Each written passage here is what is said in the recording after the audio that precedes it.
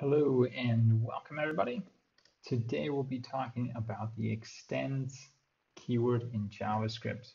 And so the extends keyword is used in class declarations or class expressions to create a class which is a child of another class. And so the syntax is generally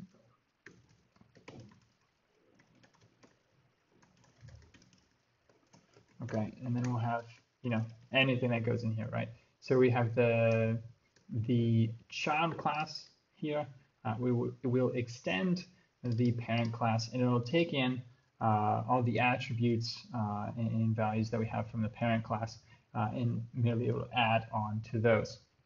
So this is uh, you know, invalid uh, example because I, I, don't have a parent class as it's mentioning right here. Parent class is not defined. So let's take a look at a better example uh, and to save you some time, I'll just copy and paste one in here that I did beforehand.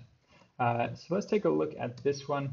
Uh, okay, so we have the parent class right here, which is animal. It will have uh, the constructor, it will receive a name so that you can uh, name the animal. Uh, and then it has just a, a simple function here, which is run. and that will also accept parameter speed. It will then log that phrase into the console. So that is the parent class. Then we have the uh, child class, which is bear. And in this case, uh, the constructor, yeah, it accepts the names. Uh, it also accepts the, the pups. It has the, the two functions here, uh, one being hibernate uh, and the other uh, how many pups. So let's create an instance of this class. So how about let bear equals new bear. and as we saw here, uh, bear accepts two parameters, one being the name and the other in pump. So we'll call it Winnie the Pooh Bear, right? So we got Winnie there. And let's just say he has five pups. Uh, enter. Uh, and so we've created uh, the bear. So let's just say we have bear. Uh, and so you can see here, uh, so Winnie, right? We pass the name Winnie, got the speed zero.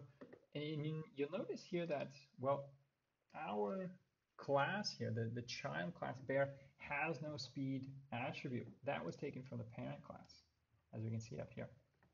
Whereas the rest, yes, it does have the name, it does have the pups, uh, which we have in the child class.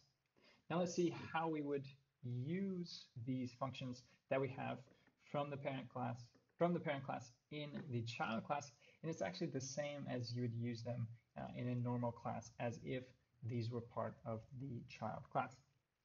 So for example, for uh, run, right? So we have this run function in the parent class, but we use it just like uh, as if it were part of the child class, right? So Winnie runs with speed one, and then bear dot hibernate. Uh, and so this is Winnie hibernates, right? So this is the hibernate function within the uh, child class itself. And finally, maybe we'll do bear how many we go. How many pops? Uh, and so we has five pops as we saw there above.